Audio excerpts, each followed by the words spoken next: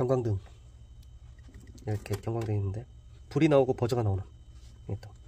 이걸 뚜껑을 딱 열어보면 여기 딥 스위치가 있습니다.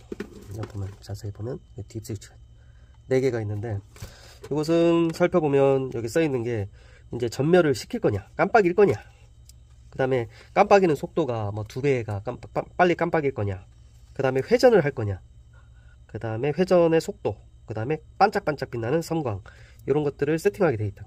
그리고 버저를 어, 연소음으로 삐 계속 울리거나 끊겼다 들, 끊겨서 들리는 이 버저 이런 것들을 여기 이제 딥 스위치에서 조정하면 돼. 하면 되고. 지금 이제 전원을 켜놨으니까 어, 불이 딱 들어온다. 220이 들어간 거고. 그 다음에 이제 회로를 잠깐 얘기해 보면 이제 뒤에서 보면은 이렇게 선이 여러 가닥 나오는 중에서 이제 중선선 놔두고 220 아, AC의 중선선 놔두고 빨간 건 220, 흰 것은 110. 그래서 110, 220 하는 거고. 그 다음에 갈색 두 개가 나와 있는데 이걸 쇼트 시키면은 이제 동작, 버저 동작이에요.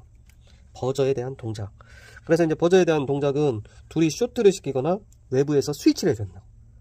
24V를 바로 넣으면 안 돼. 그래서 이제 24V를 입력받아가지고 스위치를 할 수 있는 이 회로, 이 보드를 이제 써야 된다고. 그러면 이제 AC, DC 뭐든 상관없는데 24V 이렇게 들어오면 이맨 뒤에 IC가 릴레이 IC인데 쇼트 나서 이제 릴레이 역할을 한다. 이렇게 되고.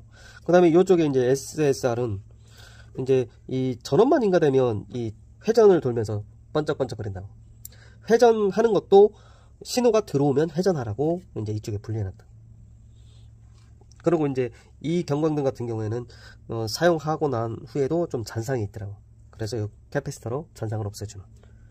어렵지 않죠? 그래서 이제 동작을 한번 보겠습니다.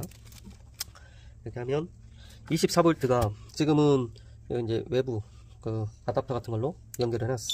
그러면 이제 이렇게 반짝반짝 그럼 옆에서 보면 이 회전한다. 회전을 멈출 수도 있고 회전을 시킬 수도 있고